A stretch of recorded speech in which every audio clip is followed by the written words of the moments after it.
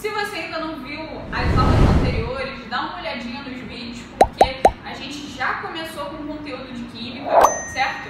Vimos a introdução, é, os primeiros é, fundamentos da química, conhecemos um pouco sobre os estados físicos da matéria, suas transformações. É, na segunda aula a gente deu uma olhada na evolução dos modelos atômicos, é, as partículas que é, constituem esses modelos e terminamos por ver distribuição eletrônica, beleza? Hoje a gente vai dar continuidade com a matéria, vendo um pouco sobre a tabela periódica. E se você está chegando agora, preste atenção porque esse assunto é essencial para a disciplina como um todo. Envolve várias coisas que mais à frente a gente vai precisar para entender melhor, beleza? Então vamos lá. A primeira coisa que a gente precisa é, entender foi que essa, essa vontade de estudar a tabela periódica, ela veio desse cara que a gente chama de Mendeleev, que a gente conhece como criador da tabela periódica. Anteriormente, ela não era organizada assim dessa forma, como a gente conhece hoje em dia. Ela teve outras constituições, outros formatos, certo? Até a gente encontrar essa forma que mais se encaixa, mais se assemelha ao que a gente é, entende de classificação, de características, ok? Bem, Mendeleev foi o primeiro a organizar, a montar uma, a, a tabela, né? Só que, posteriormente, a gente teve atualizações. Uma das últimas foi a de Moser, que trouxe a questão das cargas, da distribuição dos elétrons, junto com Linus Pauling. Beleza? Bem, a tabela periódica, como o próprio nome dela já traz pra gente, ela é montada e organizada em cima de uma periodicidade. O que, que é isso?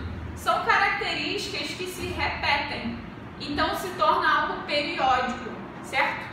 Bem, na tabela periódica a gente vai ter as linhas horizontais que vão do número 1 ao número 7, certo?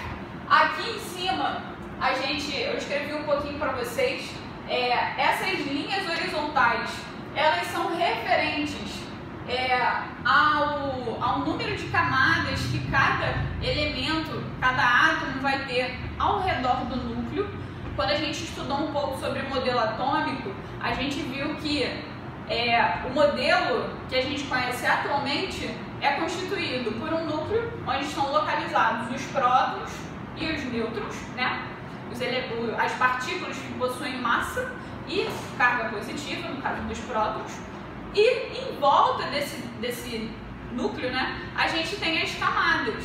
E aí elas estão organizadas assim, ó, na tabela periódica, as linhas horizontais.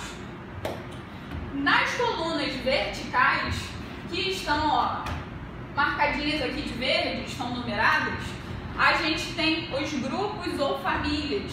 A gente usa esses dois nomes para nomear elas. Depois a gente vai conhecer o nome de cada família e entender um pouco mais. É, essa organização na vertical de grupos ou famílias veio pela propriedade, pelas propriedades semelhantes, pelas características comuns que esses elementos têm entre si. É, além disso, né, a gente tem 18 famílias no total, né, 18 grupos. É, 8 deles são da classificação A e 10 deles da classificação B. Depois a gente vai entender um pouco por que tem essa distinção entre A e B. Mas é importante a gente saber que é, o número do grupo ou da família representa a quantidade de elétron que a gente tem na última camada, que a gente chama de camada de valência, beleza? Ele é que vai dizer quantos elétrons aquele átomo, aquele elemento vai possuir na última camada. Bem, como a gente tinha visto anteriormente é, e falado, a tabela periódica ela segue a lei periódica, certo? E como ela está organizada? Bem, na tabela periódica, se vocês pegarem aí ela física, acredito que tenha na apostila de vocês, vocês vão ver que a gente tem alguns números que aparecem ao lado do símbolo, certo? A gente tem normalmente o número de massa e a gente tem o número atômico.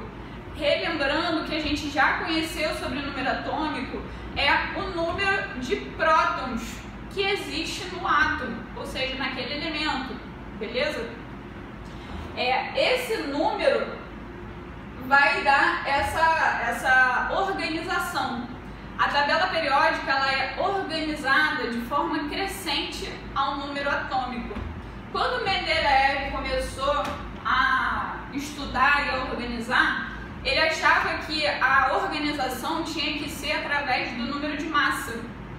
Só que depois, né, estudos mais à frente, é, Moseley viu que não, viu que a gente tem que considerar, na verdade, são os números atômicos, os números que representam os prótons, certo? E que acabam representando os elétrons também, já que os elementos químicos da tabela periódica estão no seu estado fundamental, ou seja, estão neutros e possuem a mesma quantidade de prótons e de elétrons, ok? Então, a organização e a classificação da tabela periódica ela é feita de forma crescente ao número atômico.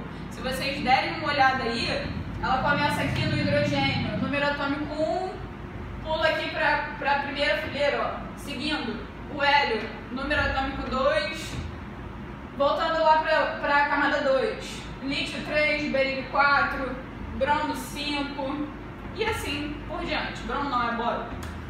E assim por diante. É, vocês vão ver que o que cresce é o número atômico, ele vai em sequência, ok? A massa não, ser, não segue essa sequência, ela é alterada de elemento para elemento e ela não vai é, crescendo, aliás, até vai crescendo ao longo do tempo, mas não de forma periódica, ok? Bem, outra coisa que a gente tem de interessante aqui dentro da tabela, a gente tem outros tipos de classificação, certo? Mas a primeira coisa que a gente vai ver é que existem dois, dois, dois, duas séries que ficam localizadas embaixo da tabela periódica. Professor, o que, que é isso? De onde que surgiu? Isso faz parte da tabela periódica? Sim, essas duas séries, essas duas sequências de elementos que vêm listados aqui nessa parte de baixo e que a gente chama de lantanídeo e actinídeo, eles nada mais nada, nada mais nada menos são do que é, elementos que possuem classificações parecidas, propriedades parecidas e que estão agrupadas nessas duas séries que fazem parte aqui da família B, certo? Elas estão localizadas dentro da família B. Só que, como seriam muitos átomos, muitos elementos para serem listados, eles colocam como se fossem gavetinhas, é como se fosse um arquivo. Você puxa e vem aquele monte de arquivo dentro. Essas gavetinhas, elas representam essas duas séries que tem vários elementos dentro delas. Beleza, pessoal? Mas elas fazem parte da tabela periódica e especificamente aqui na família B. Ok? Bem, com essas informações que a gente viu até agora, é possível a gente obter algumas informações. E aí eu trouxe dois exemplos que acontece muito e cai muito em prova e que é legal da gente ver logo. Bem, no primeiro exemplo ele fala que a gente tem o elemento sódio, certo? que faz parte do, da tabela periódica e que é representado pelo símbolo Na. Então a gente tem que dar as características do sódio. Então vamos analisar ele. Bem, se a gente olhar aqui na tabela periódica, a gente vai ver que o sódio está aqui, ó, no período 3, certo? E na família 1A. Então, o que, que isso quer dizer? Isso quer dizer que ele está no terceiro período, terceiro período e família 1A. Agora, além disso, o que eu posso dizer? Eu posso dizer que o sódio ele tem três camadas, três camadas e um elétron um elétron na última camada.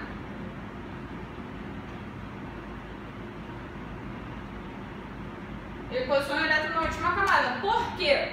Porque se ele é do terceiro período, na tabela periódica, o período não representa a quantidade de camadas que, que átomo vai ter é, ao redor do núcleo. Então, três camadas. E a família não representa a quantidade de elétrons que a gente tem na última camada. Então, se ele é do primeiro período, do, da primeira família, da família 1A, ele tem um elétron na última camada. Se eu fosse representar isso através de um desenho, eu poderia dizer o seguinte: eu tenho aqui o meu átomo de sódio, meu núcleo do sódio, e quando eu tenho três camadas, eu tenho isso aqui, ó, ao redor. Ao redor eu vou ter, e eu vou ter um elétron na última camada. Beleza? Lembrando que essa é a representação do sódio, do Na. Beleza, pessoal? Bem, no segundo exemplo, ele faz o contrário. Ele dá algumas características e pede pra gente o elemento.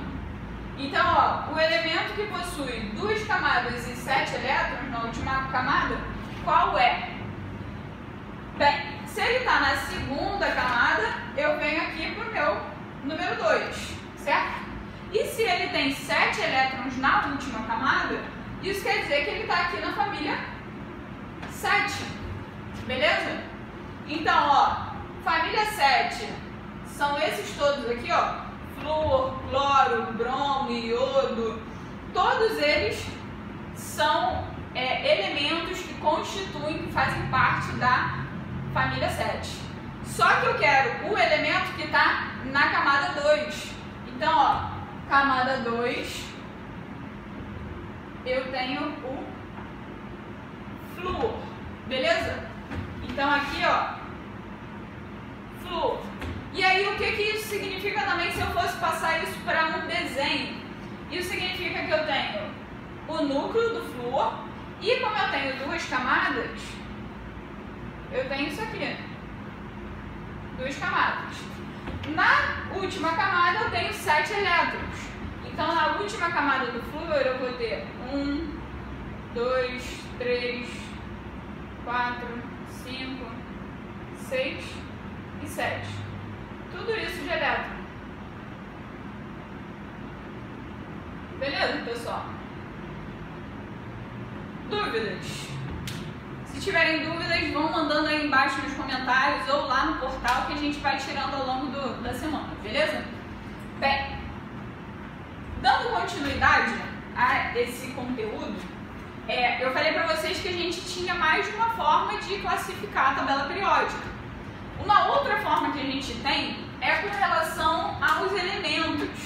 A gente tem dentro da tabela periódica elementos que a gente considera representativos e elementos que a gente considera é, de transição, transitórios, ok? Qual é a grande diferença entre um e outro?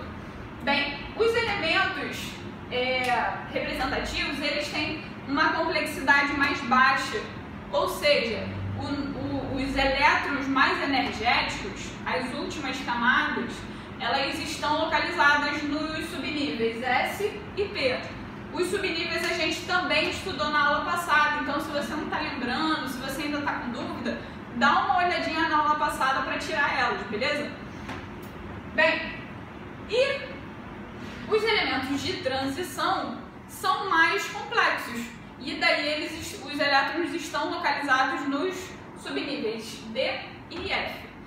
A gente aqui nesse desenho consegue ter uma dimensão de como fica essa classificação. Então aqui, ó, se a gente parar para pensar, subníveis S e subníveis P ficam exatamente nas famílias A. Certo? Tudo isso daqui, ó. 3A, 4A, 5A, 6A, 7A e 8A.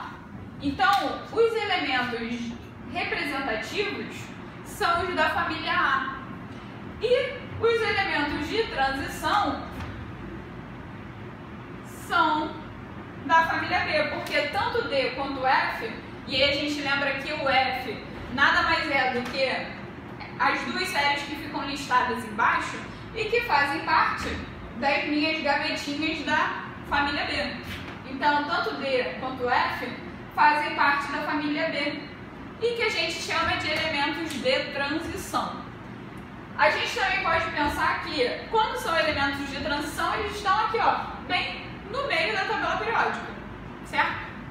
Outra coisa importante sobre os elementos de transição, a gente vai ter dois tipos, os de transição externa e os de transição interna. Qual é a diferença entre eles? A gente que essas duas séries estão localizadas aqui em gavetinhas dentro da família B?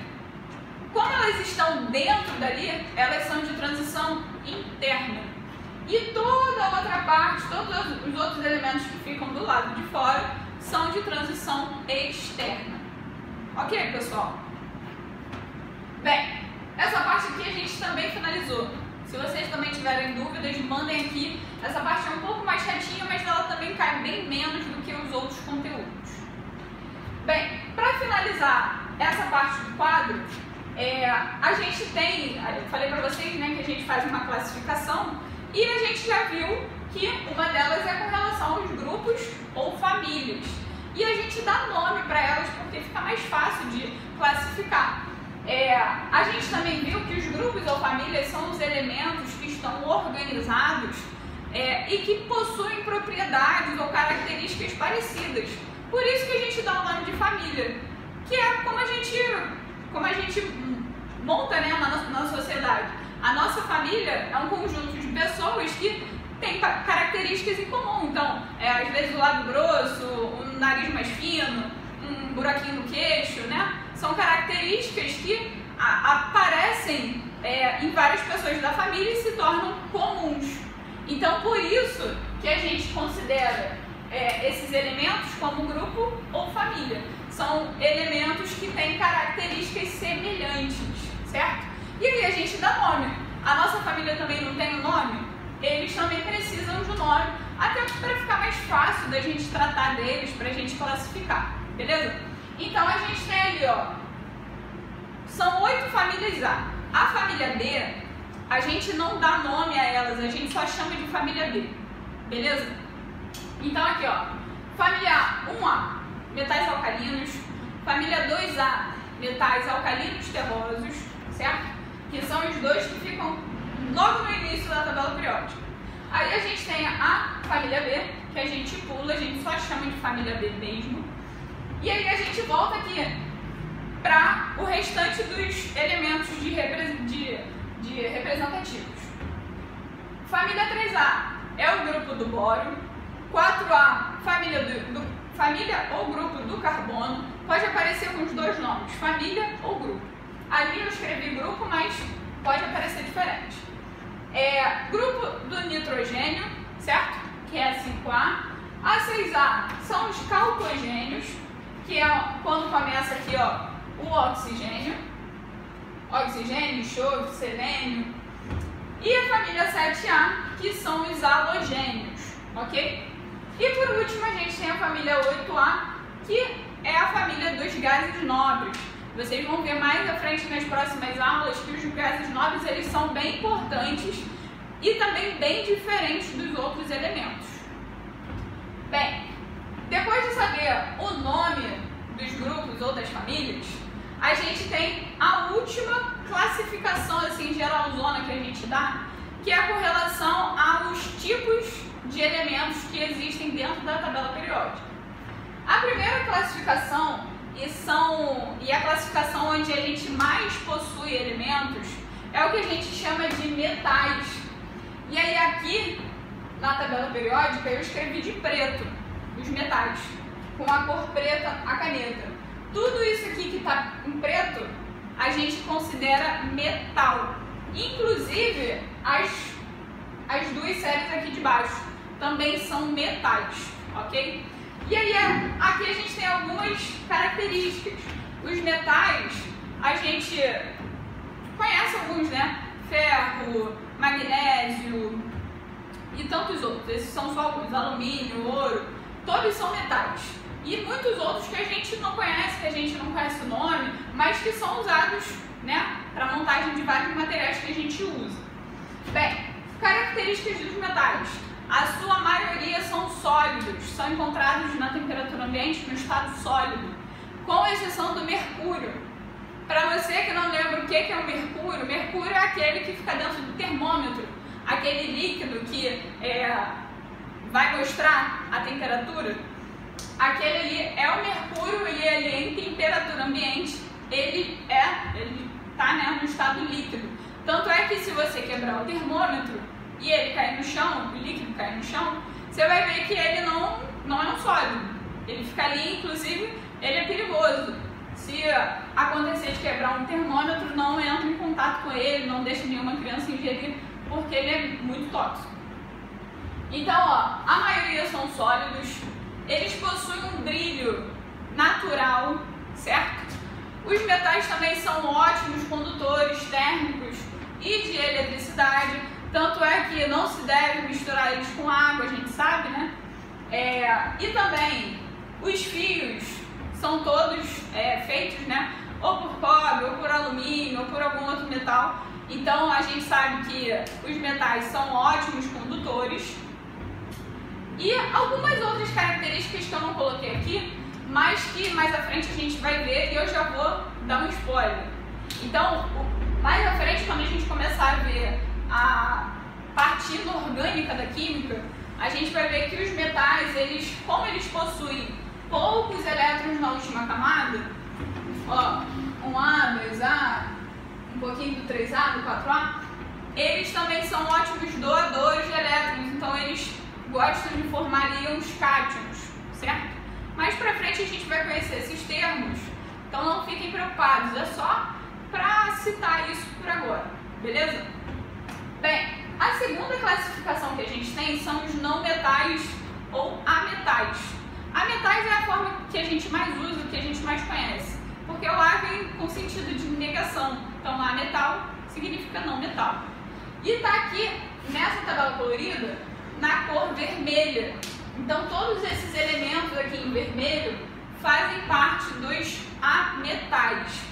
E aí, diferentemente dos metais, é quase que o oposto.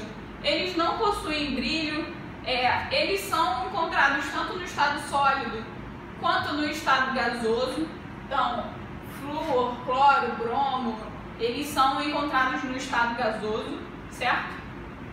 Eles não são bons condutores térmicos e nem elétricos. Então, completamente o contrário dos metais. Além do mais, alguns são duros e quebradiços, certo? E aí eles não são maleáveis, por isso mesmo que a gente não utiliza para fazer cabo, fiação, certo? Eles não conduzem bem a eletricidade e também não são maleáveis para formar fios, certo? É... E assim como, assim não, né? Diferente dos metais, eles estão na parte da tabela periódica onde a gente tem a maior quantidade de elétrons na última camada. São as famílias mais altas aqui na numeração. Então, como eles têm já muitos elétrons na última camada, eles tendem a querer ganhar mais elétrons. E aí eles tendem a formar íons ânions. Mas a gente também vai ver sobre isso mais à frente. É só também para citar isso e vocês já saberem que a gente vai dar uma olhada. Quando vocês estiverem lá na frente vendo isso, é, vocês vão lembrar que a gente citou isso nessa aula. Beleza, pessoal? Bem, para terminar, a gente tem os gases nobres, que estão aqui em roxinho e que fazem parte da família 8A. Os gases nobres, eles, quando, quando Mendeleev começou a organização da tabela periódica, eles ainda não tinham sido descobertos. Então, eles não faziam parte. Essa coluna 8 não existia. Mais à frente, com, com outros pesquisadores, é que foram surgindo os gases e o estudo dos gases, né? É, aliás, gases sempre existiram. Os cientistas é que ainda não sabiam interpretar que aquilo era um gás. Então, quando eles entenderam que aquela substância era gasosa, é que eles começaram a ver, não, precisamos encaixar ela em uma organização na tabela periódica. E aí surgiu a coluna 8A, certo? Que possui todos os gases e que também são gases que possuem semelhanças entre si, por isso que estão localizados todos na família 8A, certo? Por último, para terminar mesmo, a gente tem o hidrogênio. E aí vocês vão ver que o hidrogênio ele está aqui logo no iníciozinho da família 1A, logo na primeira camada. Só que o hidrogênio, em algumas tabelas periódicas, ele, ele aparece até isolado, sem estar aqui na família A, porque na verdade ele não, não faz parte da família. O hidrogênio é o único elemento que não possui características semelhantes com nenhum outro. Então ele não é considerado da família 1A. Mas, por ser um pouco mais parecido, por ter um elétron só na última camada, por ter uma camada só, ele fica localizado ali. Mas ele não faz parte da família 1A. Ok? Então ele não é um metal, ele não é encontrado no estado sólido, ele não conduz bem a eletricidade. Beleza, pessoal? Bem, por hoje é só. É, se tiverem dúvidas, mandem aí embaixo nos comentários ou lá no portal do Super Concurso, que a gente está sempre de olho para ajudar vocês, beleza?